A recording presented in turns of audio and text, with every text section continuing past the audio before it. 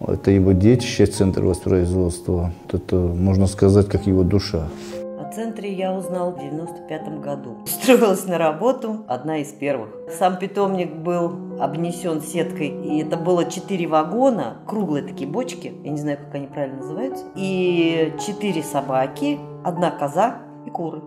Больше не было никого. И все, а потом уже началось строительство, реконструкция московского зоопарка, и у нас бегом-бегом здесь шла стройка. Проходили планерки на бревнах с директором. Владимир Владимирович приезжал. Среда – это директорский день. Мы старались по возможности, даже у кого не смена, приходить, послушать. Очень много планах было у Владимира Владимировича.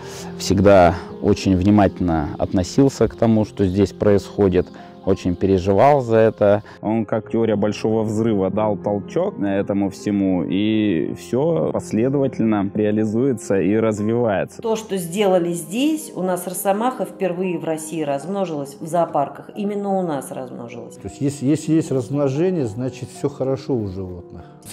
Токины мы каждый год получаем. С тиграми то же самое. Северные олени лесные. У нас есть дрофиная программа, которой Владимир Владимирович уделял много времени, очень переживал за нее. В этом году у нас прорыв произошел. Мы развели, наконец, наших дров. Манулов сложно изолировать от внешних инфекций. Сохранить потомство очень сложно. Мы даже добивались, что у нас в один год одна самка родила 8, два по 5, и всех сохранили детенышей. То есть создали условия нормальные, и пошло размножение.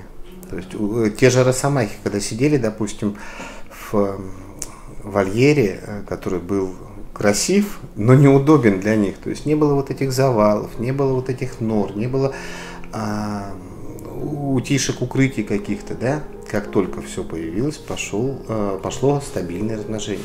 В истории постсоветского пространства мы первые получили Викуни по инициативе Владимира Владимировича. Изначально это была мечта Владимира Владимировича, э, чтобы э, в московском зоопарке содержался рыбный филин.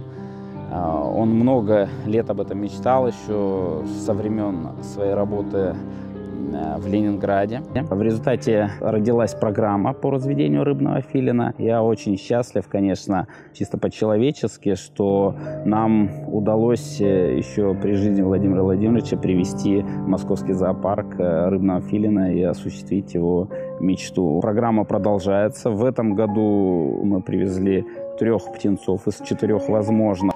Благодаря Светлане Владимировичу, что запустили проект кормовой базы, вот, он очень радовался этому, что мы свои корма будем, мы сами своих животных будем кормить своими кормами. Проект пеликаника делаем, тоже он сделайте, сделайте. Ну, слава богу, вот мы в этом году теплый домик завершаем. Как планировали, то, то мы смогли сделать. К сожалению, его нет рядом. Но я думаю, он за, за нами наблюдает. Он как бы был действительно нашим аксакалом. Интересующийся и азарт любопытство. Такой масштаб личности, который сложно переоценить.